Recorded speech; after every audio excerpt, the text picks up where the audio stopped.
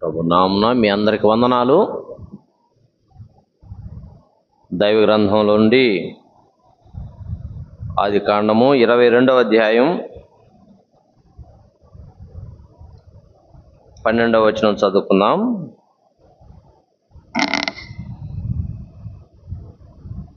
ఆది కాండము ఇరవై రెండవ అధ్యాయం పన్నెండవ వచనం. అప్పుడు ఆయన ఆ చిన్నవాని మీద చేయి వేయకుము అతనిని ఏమీయూ చేయకుము. నీకు ఒక్కడై ఉన్న నీ కుమారుని నాకు ఇయ్య వినుదీయలేదు గనుక నీవు దేవునికి భయపడువాడవు అని ఇందువలన నాకు కనబడుతున్నదనెను నీవు దేవునికి భయపడు వాడవని ఇందువలన నాకు కనబడుచున్నది ప్రార్థన చేసుకుందాం. కరుణా సంపన్నుడా జాలిగల దేవా వందనాలు. ఈ రెండు రోజుల పరిచయ నిమిత్తమై ఉదయకాలం జరిగిన పరిచయలో మీరు సహాయం చేశారు. తిరుగు మధ్యాహ్నం వేళ మీ నామ పేరట కూడుకున్నాం. ఇంత దనుక మీ నామాన్ని కీర్తించి మీ మాటలు మేము చదువుకుని ఉండగా చేరుచిన మా అందరికీ అవసరం ఒక రీతిలో మీ ఆత్మ సహాయం దయచేయండి. మీ స్వరాన్ని వినిపించండి. ప్రభా మీరు మాట్లాడితే మేలు పొందగలం. మీరే మాకొక్కరితో మాట్లాడమని ఈ సమయాన్ని దీవెనకరంగా మాకు దయచేయమని మా ప్రభు అయిన యేసుక్రీస్తు అమూల్యమైన నామమున ప్రార్థన చేసి వేడుకుంటున్నాము తండ్రి. ఆమెన్. ప్రభునందు ప్రియులారా ఉదయకాలాన దేవునికి భయపడిన కొందరి జీవితాలను క్లుప్తంగా మనం జ్ఞాపకం చేసుకున్నాం. అందులో ప్రధానంగా భక్తుడైన అబ్రహాము దేవునికి భయపడి దీవించబడ్డాడు అనే విషయాన్ని చూసుకున్నాం. మనమంతా కూడా దైవ భయం కలిగి నడుచుకోవాలి అనే సంగతిని చెప్పుకున్నాం. దైవ గ్రంథమైన బైబిల్లో అబ్రహాం యొక్క ప్రాధాన్యత మనం ఎరిగిన వారమే. క్రొత్త నిబంధన అబ్రహాంతోనే ప్రారంభమవుతుంది కదా? దేవుని స్నేహితుడిగా పిలువబడ్డాడు. విశ్వాస వీరుడు తనొక్కడే కాదు తన కుటుంబంలో ఆయన భార్య ఆయన కుమారుడు కుమారుని కుమారుడు. వీరంతా కూడా విశ్వాసులు కాదు విశ్వాస వీరులు.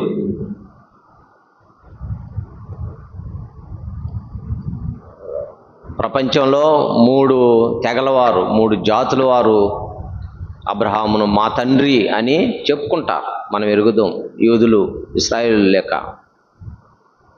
ముస్లింలు కూడా అబ్రహామును మా తండ్రి అని చెప్పుకుంటారు. నమ్మిన మనం కూడా అబ్రహామును మా తండ్రి అని చెప్పుకుంటాం. ఇంతటి ఆశీర్వాదకరమైన జీవితం అబ్రహాం జీవించాడు. దాదాపు చాలా ఏండ్లు విగ్రహారాధికుడిగానే జీవించాడు కదా. అయితే దేవుని పిలుపు అందుకున్నాడు దేవునికి లోబడ్డాడు. దేవునికి భయపడి జీవించాడు. అబ్రహాము దేవునికి భయపడినవాడు. ఈ మధ్యాహ్నం వేళ మనం ఇరవై రెండవ అధ్యాయంలో దేవునికి భయపడే వాని లక్షణాలు ఒక ఏడు క్లుప్తంగా మీకు జ్ఞాపకం చేస్తా. అదే వర్తమానం. దేవునికి భయపడు వారి యొక్క లక్షణాలు. మొదటిగా దేవునికి భయపడువాడు దేవుని చిత్తానికి లోబడతాడు. మొదటి వచనంలోనే దేవుడు అబ్రహామును పిలిచాడు. అబ్రహామా అని పిలువగా అతడు చిత్తము ప్రభువా అన్నాడు. అబ్రహామా అనగానే ఏం ప్రభువా అని కాదు. చిత్తము ప్రభువా అంటే నీవు ఏది చెప్పినా నేను వింటా నేను లోబడతా.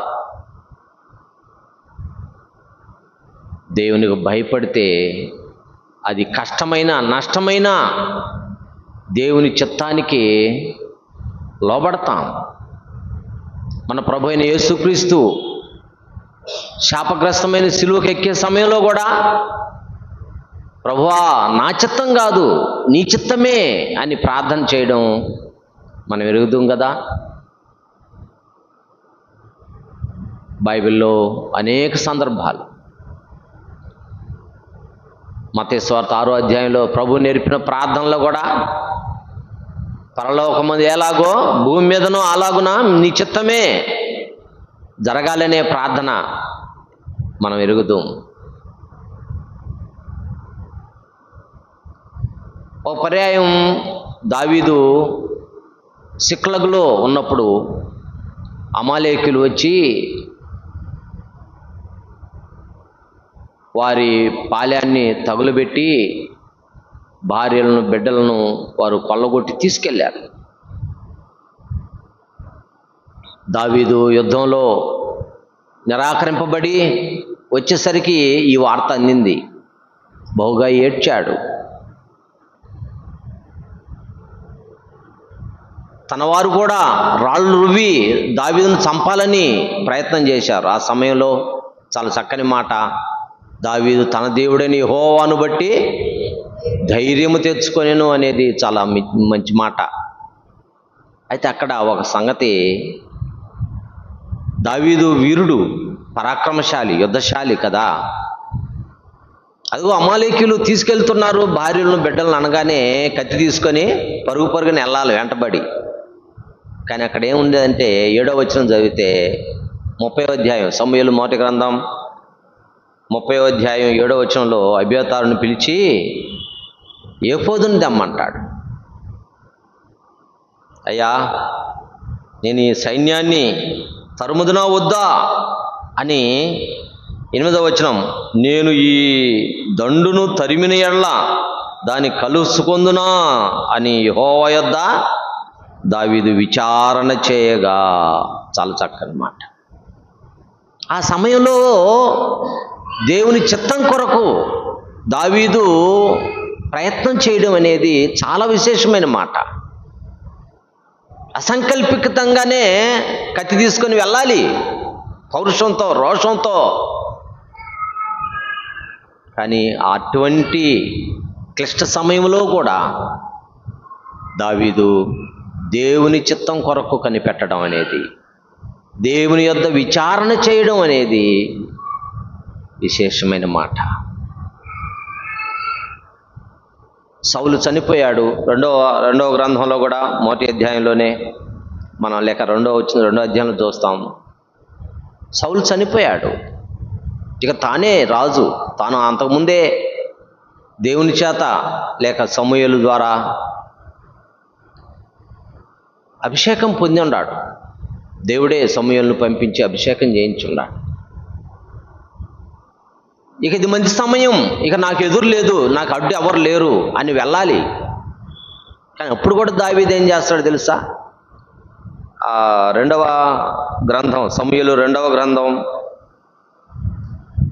మొదటి వచనం ఆ రెండవ గ్రంథం రెండవ అధ్యాయం మొదటి వచనం. ఇది జరిగిన తరువాత అనగా ఆ సౌలు యోనాతాను వీరందరూ చనిపోయిన తర్వాత పట్టణంలోనికి నేను పోదునా అని దావీదు యహోవ యొద్ద విచారణ చేయగా. అదేలే. ఎందుకు విచారణ చేస్తున్నానంటే దేవుని చిత్తం కనుక్కునేదానికన్నమాట. ఆయన అనుమతి కొరకు దావీదు ఎదురు చూడడం కనిపెట్టడం కారణం ఏమనకన్నా ఏమిటంటే దేవునికి భయపడినవాడు దావీదు. భయభక్తులు గలవాడు దావీదు. ఆయనకు భయపడే మనం అన్ని సమయాల్లో అన్ని వేళలా దేవుని చిత్తం కొరకు ఎదురు చూడాలి ఆ చిత్తానికి లోబడాలి. ఎదురు చూడటమే కాదు. కొన్నిసార్లు ఆయన చిత్తం కొరకు ఎదురు చూచినప్పుడు కొంచెం కష్టంగా నష్టంగా కనబడద్ది. అయినా సరే ఆయనకు భయపడిన వారమైతే ఆయన చిత్తానికే లోబడతాం. దేవునికి భయపడితే ఆయన చిత్తానికి లోబడతాం. రెండవదిగా దేవుని చిత్త దేవునికి భయపడేవాడు చురుకుదనం కలిగి ఉంటాడు. ఆసక్తి కలిగి ఉంటాడు. లేజీగా అనాసక్తంగా సోమరితనంగా ఉండడు. మూడవ వచనంలో తెల్లవారినప్పుడు అబ్రహాము లేచి అనే మాట చూస్తున్నాం. అంటే అంతకు మునిపే దేవుడు అబ్రహామును దర్శించి నీకు అక్కడ ఉన్న నీ కుమారుని నీవు ప్రేమించి సాకును నాకు బలిగా అర్పించు అన్నాడు. రాత్రి అయింది. పండుకున్నాడు. నిద్ర వస్తుందా? ఆ రాత్రి నిద్రపోయి ఉంటాడా? ఎన్ని ఆలోచనలు. అయితే అక్కడ ఉండే మాట తెల్లవారగానే అబ్రహాము లేచి తన గాడిదనకు గంత కట్టి తన పనివాళ్ళు ఇద్దరిని తన కుమారుడు ఇసాకును వెంటబెట్టుకొని దహన బలి కొరకు కట్టెలు చీల్చి కట్టెలు చీల్పించి కాదు. ఎంతమంది పనివారు ఉన్నారు? చెప్తే చేసేవాళ్ళు ఉన్నారు. కట్టెలు చీల్చి. ఎంత చురుకుదనం. ఎందుకు తెల్లవారగానే లేగలిగాడు అంటే భయం. దేవునికి మాటిచ్చాడు. దేవునికి భయపడువాడు. తెల్లవారగానే లేచి ఆ చురుకుదనం. సామెతల గ్రంథంలో ఉంది కదా. చురుగ్గా ఉండడం గొప్ప భాగ్యం గొప్ప భాగ్యం. హెబ్రి స్త్రీలను గురించి చెప్పిన మాట ఏమిటి? వారు బహు ఆ హెబ్రి స్త్రీలు బహు చురుకైన వారు. విశ్వాసులమైన మనం చురుకుతనం కలిగి ఉండాలా? దేవుని పని అన్నా దేవుని సన్నిధి అన్నా దేవుని పరిచర్య అన్నా ఏదైనా ఆ చురుకుదనం అనేది ఎప్పుడు వస్తుందంటే భయం కలిగి ఉంటే హృదయంలో భయం ఉంటే. ఆదివారం మందిరానికి వెళ్ళాలి. హృదయంలో భయం ఉంటే లేస్తాం. తెల్లారేగానే లేస్తాం. ఈరోజు డ్యూటీ లేదులే ఆదివారమే కదా మందిరమే కదా అనుకుంటే ఆ భయం లేకపోతే ఎప్పుడైనా లేస్తాం ఎప్పుడైనా వస్తాం. అబ్రహాము దేవునికి భయపడేవాడు. అదిగో తెల్లవారగానే చురుకుగా లేచాడు. ఇక మూడవదిగా దేవునికి భయపడేవాడు ప్రత్యేకత కలిగి ఉంటాడు. అదిగో దేవుడు చెప్పిన చోటుకు వెళ్తున్నారు. పనివారు ఉన్నారు గాడిదలు ఉన్నాయి కానీ ఏం చెప్పాడు ఐదో వచనంలో? తన పనివారితో మీరు గాడిదతో ఇక్కడనే ఉండండి. నేను ఈ చిన్నవాడు అక్కడికి వెళ్తాం. దేవునికి మొక్కి మరలా వస్తామని చెప్పాడు. ప్రత్యేకత. దహన బలి అర్పించే ఆ స్థలానికి ఆ అన్యులు అపవిత్రమైన ఆ జంతువుతో కలిసి రావడం అబ్రహాము ఇష్టపడలేదు. అక్కడ ప్రత్యేకత ప్రత్యేకత.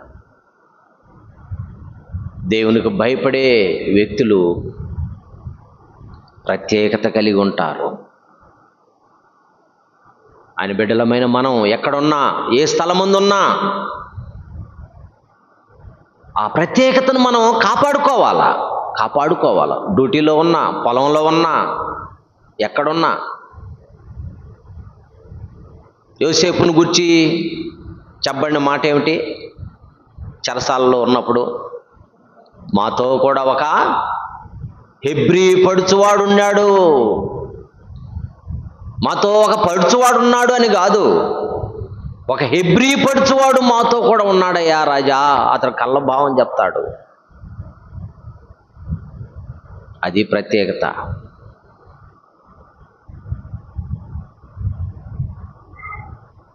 యూదులను గూర్చి ఎస్తేరు గ్రంథంలో చెప్పబడిన మాట. చూడండి ఆ మాట చదువుకుందాం. మాకు తెలిసిందే. అయినా ఒకసారి ఎస్తేరు గ్రంథం.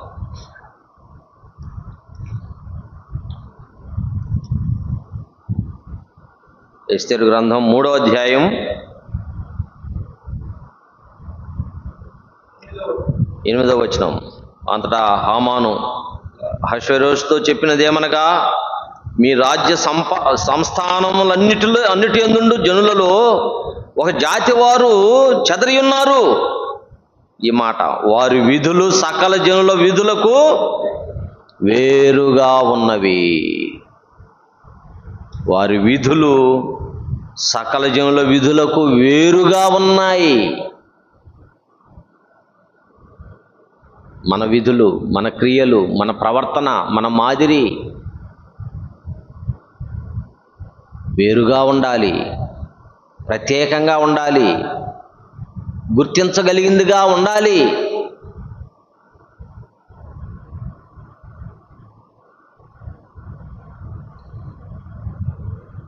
ప్రత్యేకత. దేవునికి భయపడినప్పుడు కలిసిపోం. దైవ భయం మనకుంటే అన్యులతో కలిసిపోము. మన ప్రత్యేకతను మనం కాపాడుకుంటాం. అదిగో దేవునికి భయపడిన అబ్రహాము ప్రత్యేకత కలిగి ఉన్నాడు. నాలుగవదిగా దేవునికి భయపడిన వాడు విశ్వాసం కలిగి ఉంటాడు నమ్మిక కలిగి ఉంటాడు. ఐదవ వచనంలో చెప్పాడు మీరు ఇక్కడనే ఉండండి.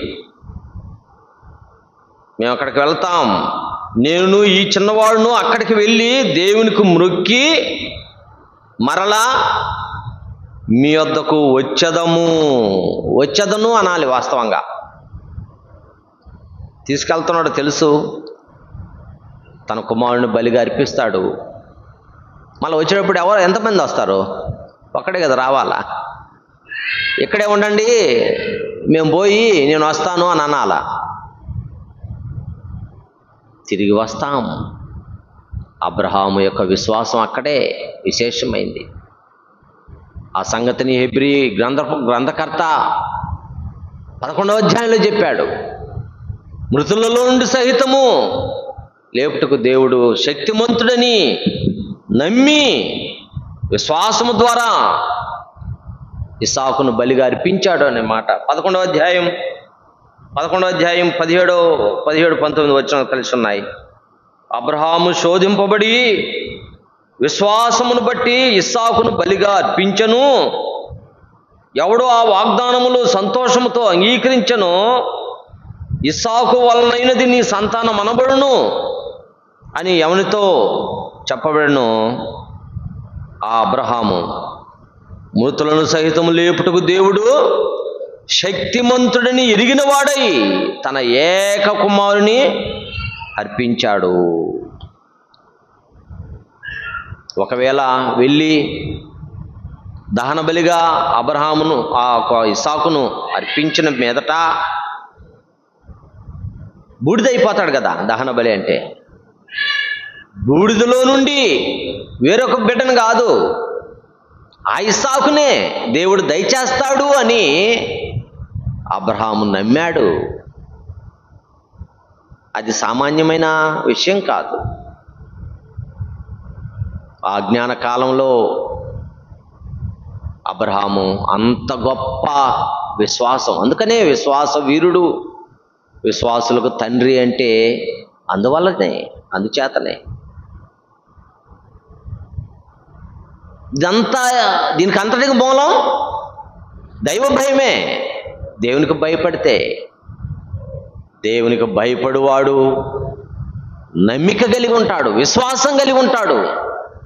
ఏ స్థితిలోనైనా దేవుని మీద తనకున్న విశ్వాసాన్ని అతడు పోగొట్టుకోడు. ఇస్సాకు అడిగినప్పుడు కూడా నా తండ్రి కత్తి కట్టిలున్నాయి కత్తి ఉంది. దహన బలికి గొర్రెపిల్ల ఏది అంటే ఏం చెప్పాడు? నా కుమారుడా దేవుడే చూసుకుంటాడయ్యా. యహోవ ఈరే. యహోవ ఈరే. దేవుడే చూసుకుంటాడు. అది విశ్వాసం. కనుక దేవునికి భయపడే మనం అన్ని వేళలా ఇటు విశ్వాసం నమ్మిక మనం కలిగి ఉండాలి. శ్రద్ధకు మేషక అభ్యర్థనుగోలను నిలువబెట్టి ప్రశ్నించి ఆ అగ్ని ఏడంతలు ఎక్కువ చేశాడంట నిబుకద్ నిజరు ఇప్పుడైనా చెప్పండి. ఇప్పుడైనా మొక్కండి చాలు అన్నట్టుగా ఆప్షన్ ఇస్తున్నాడు. అని వారు చెప్పారు మేము భయపడ మాకు చింత లేదు. మా దేవుడు మా దేవుడు సమర్థుడు. మా దేవుడు సమర్థుడు. వారు భయపడలా. అగ్నికి భయపడలా నెబుకద్నెదురు భయపడలా. రాజాగ్రహ రాజా రాజాగ్రహానికి వాళ్ళు భయపడలా. దేవునికి భయపడ్డారు. కనుక నమ్మిక కలిగి ఉన్నారు. విశ్వాసం కలిగి ఉన్నారు. కనుక దేవునికి భయపడితే ప్రత్యేకత దేవునికి భయపడితే విశ్వాసం కలిగి ఉంటాం. మరొక విషయం ఏంటంటే క్రమం ఉంటుంది. దేవునికి భయపడితే క్రమం. చూడండి మాట. తొమ్మిదవ వచనం. అలాగూ వారిద్దరూ కూడి వెళ్ళి దేవుడు అతనితో చెప్పిన చోటికి వచ్చినప్పుడు అబ్రహాము అక్కడ బలిపీఠమును కట్టి కట్టెలు చక్కగా పేర్చి తన కుమారుడు ఇస్సాకును బంధించి చక్కగా పేర్చి అనేది విశేషమైన మాట. ఏదో దేవుడు అడిగాడు కదా అని అది ఆ కట్లట కుమ్మరిచ్చేసి కళ్ళు మూసుకొని బంధించి అర్పించడం కాదు.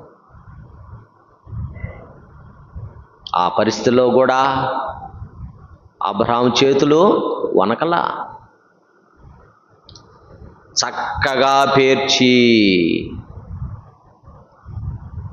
ఆ మాటనే దేవుడు స్థిరపరిచి లేవి కాండంలో చూడండి ఒక మాట. లేవి కాండంలో బలిపీఠం కట్టేటప్పుడు బొల్లు అర్పించేటప్పుడు చక్కగా పేర్చాలి అని దేవుడే దాన్ని స్థిరపరిచాడు చూడండి.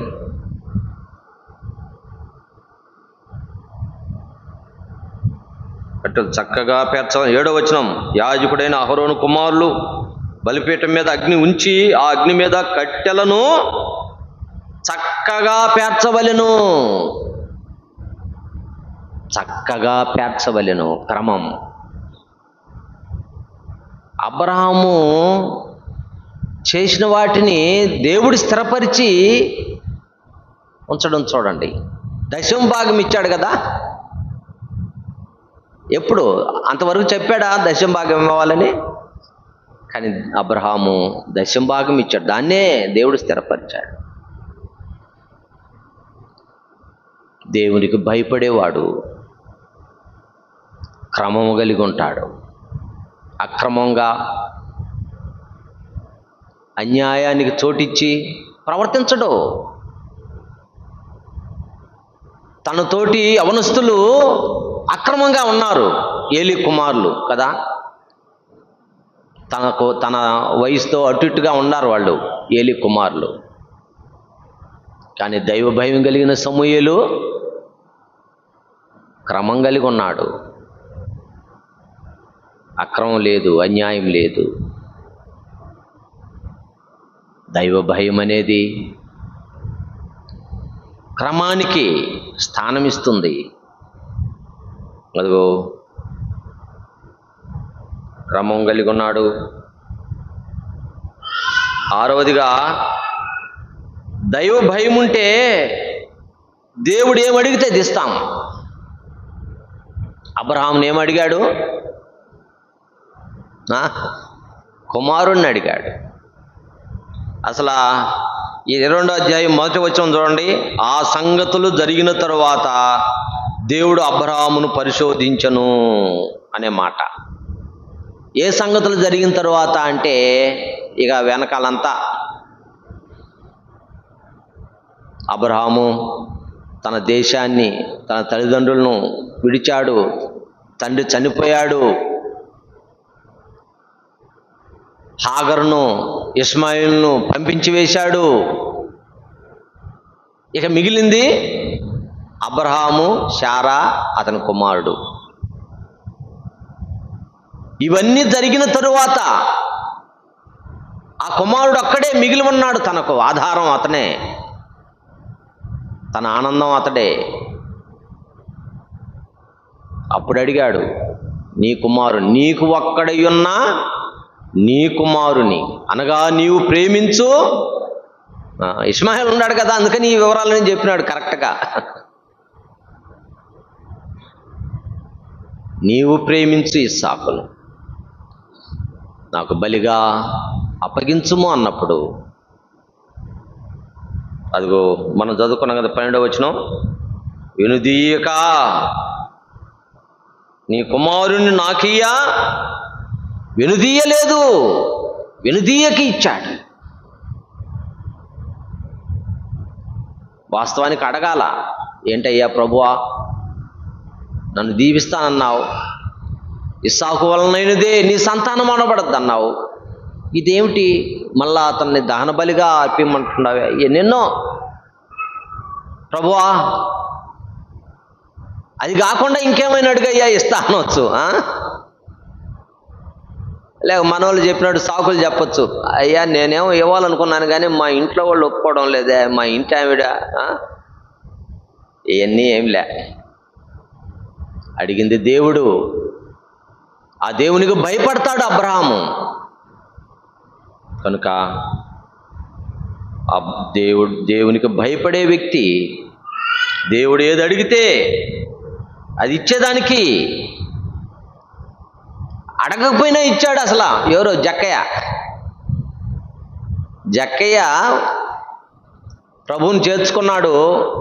జక్కయ్య నీ విధంగా చేయి ఈ విధంగా చేయి అని అన్నాడా? చెప్పాడు దేవుడు చెప్పలా. నిజంగా మారాడు గనుక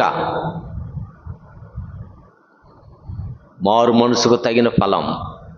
ఇదిగో ప్రభువా నా ఆస్తులు సగం బేదలకు ఇస్తున్నా నేను ఎవరి యొద్దనైనా అన్యాయంగా ఏదైనా తీసుకుంటే నాలుగంతలు ఆ నాలుగంతలు అనేది వస్తూ ఉంది. దావీది కూడా అన్నాడు కదా నాలుగు గొర్రెలు. నేను ఇచ్చేస్తా స్వార్థం ఉండదు. దేవునికి భయపడినప్పుడు స్వార్థం చూసుకోరు.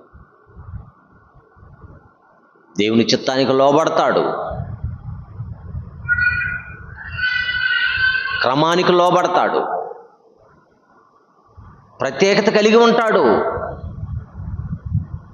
అన్ని వేళలా నమ్మిక కలిగి ఉంటాడు. నమ్మిక. దేవుడు ఏది అడిగితే అది ఇచ్చేదానికి సిద్ధపడతాడు. సమర్పణ కలిగి ఉంటాడు. సమర్పణ.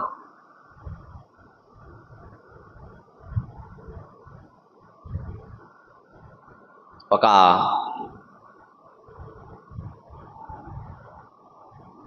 త్రాగుబోతు భర్త ఉండేదంట. ఆ సహోదరి నమ్మిన సహోదరి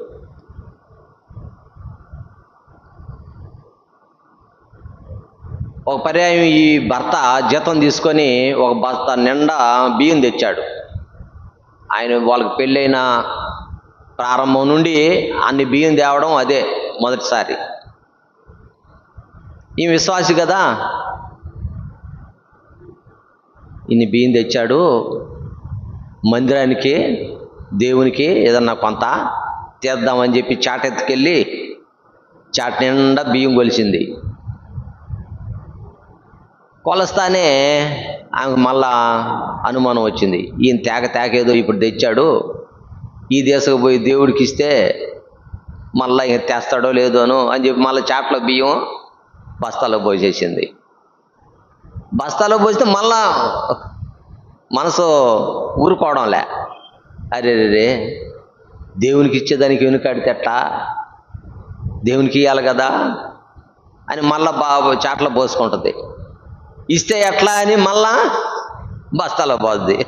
బస్తాలో నుంచి చాట్లకి చాట్లో పోసి పోసి ఆఖరికి తెగించి దేవునికి తెస్తుంది. దేవుడు తక్కువ చేస్తాడా? వెదజల్లి అభివృద్ధి పొందువారు కలరు. కలిగిన దానికంటే తక్కువ ఇచ్చి లేమికి లేమికి వచ్చేవారు కాదు. దేవుడు మన శక్తికి మించి ఏమీ అడగడు. అసలు అడిగేదానికి మన దగ్గర ఏముంటే ఉన్నవన్నీ దావీది అన్నాడు కదా మా కలిగిందంతా నీదే అంతా ఆయనదే. ఆయన ఇచ్చిన దానిలో కొంతే మనం ఇచ్చేది. నిజంగా మీ మందిరం చూచినప్పుడు నాకు ఆశ్చర్యంగా ఉంది. ఇంత ఖర్చు ఎట్లా భరించారో ఎవరు భరించారో నిజంగా ఆశ్చర్యం. ఇలాంటి సమర్పణ అన్ని స్థలాల్లో కనబడదు. మీరు చేసింది మంచి పని. నేను మొదటగా చూశాను కాబట్టి మీ ముఖస్థుతికి కాదు. నేను చూసి ఆనందించి ఆశ్చర్యపోయి చెప్తున్నా ఈ మాట. కనుక దేవునికి ఇచ్చేది ఇచ్చే విషయంలో మనం ఎన్నడే కానీ వెనుకంజి వేయకూడదు వెనుకాడకూడదు. దేవునికి భయపడితే మనం దేవుడు ఏది అడిగితే ఇది ఇస్తాము అనే దానికి ఆ సంగతి మనం చెప్పుకుంటున్నాం. ఏడవదిగా దేవునికి భయపడేవాడు తాను ఆశీర్వదింపబడ్డమే కాదు ఇతరులకు ఆశీర్వాదకరంగా ఉంటాడు. చూడండి పద్దెనిమిదవ వచనం పద్దెనిమిదవ వచనం. మరియు నీవు నా మాట వినందున భూలోకంలోని జనములన్నీ నీ సంతానము వలన ఆశీర్వదింపబడును. నీ సంతానం వలన ఆశీర్వదింపబడతాయి. నీవు ఆశీర్వాదకరంగా ఉంటావు అబ్రహమా. కారణం నీవు నాకు భయపడావు నాకు భయపడ్డావు. నిన్ను నేను ఆశీర్వదిస్తా. నిన్నే కాదు నీ మూలంగా. నీ సంతానమంతటిని దీవిస్తా. ఒక్కడు భయపడి ఎంతమందికి దీవెనకరమైనాడో చూడండి. నువ్వు భయపడితే నీకే కాదు నీ కుటుంబానికి నీ వారికి నువ్వు ఆశీర్వాదకరంగా ఉంటావు. దానికి వ్యతిరేకం?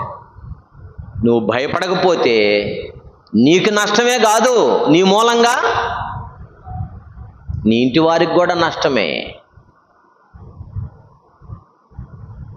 యోనాథాన్ దావీదు అడిగాడు కదా యోనాథాను బట్టి మేలు చేయాలని ఉంది. సౌలు కుటుంబంలో ఎవరన్నా ఉన్నాడా అంటే ఏమని అప్పటికి ఉండారా లేరా?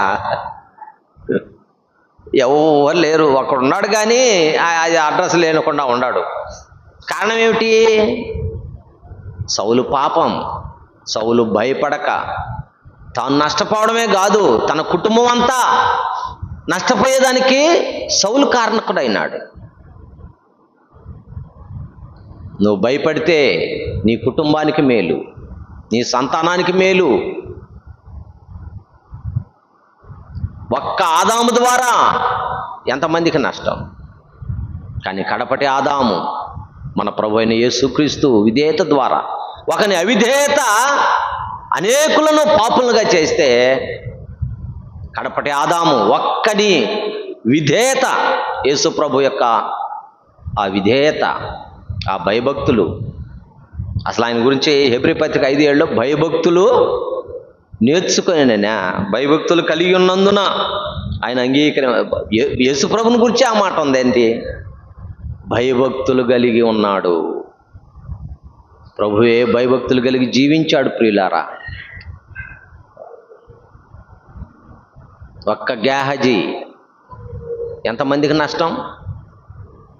ఒక్క గ్యాహజీ ఒక్క ఆకాను ఆకాను ద్వారా ఎంతమందికి నష్టం? ఒక్క కోరహు కోరహు ద్వారా ఎంతమందికి నష్టం? ఎంతమందికి నష్టం? కనుక దేవునికి భయపడితే ఆశీర్వాదకరంగా ఉంటాం. అబ్రహాము ద్వారా ఆశీర్వాదం. ఇసాకు ద్వారా ఆశీర్వాదమే. యాకోబుతో అన్నాడు కదా వాళ్ళ మామ. ఏమన్నాడు? నిన్ను బట్టి దేవుడు నన్ను దీవించాడు. ఎంత ఆశీర్వాదం. యోసేపు ద్వారా అన్యునికి ప్రతి ఒక్కరు ఇంటికి అబ్బా ఎంతమందికి ఆశీర్వాదం? ఒక్క యోసేపు ఒక్క దావీదు ఎంతమందికి ఆశీర్వాదం? కనుక దేవునికి భయపడదాం. దేవునికి లోబడతాం. విధేయులమై జీవిద్దాం. అబ్రహమా నీవు దేవునికి భయపడివాడవు అని దేవుడే చెప్పాడు. దేవుడే. భయపడిన అబ్రహాము దేవుని చిత్తానికి లోబడ్డాడు. రెండవదిగా చురుకుదనం కలిగి జీవించాడు. మూడవదిగా ప్రత్యేకత కలిగి జీవించాడు. నాలుగవదిగా విశ్వాసం కలిగి జీవించాడు. ఐదవదిగా క్రమం క్రమం కలిగి జీవించాడు. ఆరవదిగా దేవుడు అడిగింది ఇచ్చాడు. ఏడవదిగా ఆశీర్వాదకరంగా ఉన్నాడు. మనం సహా యథార్థమైన భయభక్తులు ప్రభునందు ఉంచి ఆయనకు భయపడదాం ఆయనకు లోపడదాం ఆయనకు విధేయులమై జీవిద్దాం. తద్వారా దేవుని ద్వారా మేలు పొందదాం. దేవుడు అట్టి కృప చేరువచ్చిన మనందరికీ దయచేయనుగాక. దేవుడి మాటలు దీవించుగాక.